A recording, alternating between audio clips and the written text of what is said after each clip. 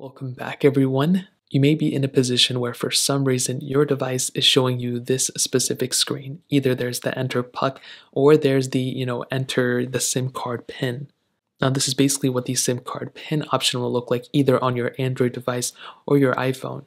Now there are a couple of different things you can do on this specific situation. The first thing you need to do is you need to figure out first if you even know the pin SIM card, you know, pin. If you don't know what it is or if you can't even give a good guess, the best thing to do from what I've heard is to actually go ahead and you see how it says two attempts remaining on your Android device. It will probably say the same thing. You basically want to go ahead and, you know, attempt to do those passwords or those pins. Now, when you go ahead and go through with those, you may come into a situation where you have this new screen setup that comes in, which tells you to enter the PUK. What this stands for the personal unlocking key.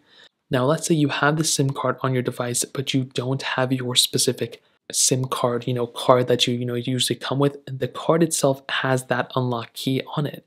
Now, if you don't have it anymore, it's totally okay. You literally just need to take the advice that Apple is giving you right here.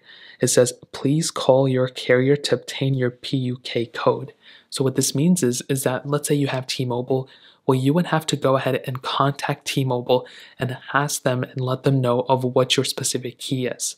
If you have AT&T, Verizon, whatever other you know manufacturers or phone plans out there, you would need to go ahead and call those specific manufacturers and have them send you out a new code.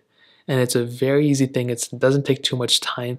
And all you would have to do at that point, I think they may even be able to give it to you over the phone, all you would have to do at that point is to essentially just go ahead and type in that code straight from here.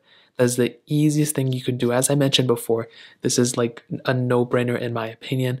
And that's all you have to do is essentially get that code from your manufacturer, type it in here, and then you would essentially be able to get access to your device and have the SIM card fully working.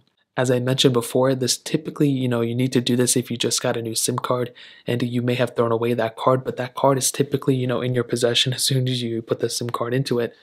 And then I would recommend going ahead, either contacting your manufacturer and then going from there, or seeing if you have that card and typing in that code from there too. So that's pretty much it. If you guys have any other questions or anything like that, let me know in the comment section below.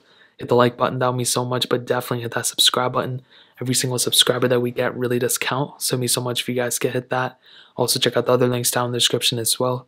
My Twitter, my Instagram, my other channels. More importantly, everything else I love every single one of you guys. Hopefully I'll catch you guys in the next video. Peace out till then.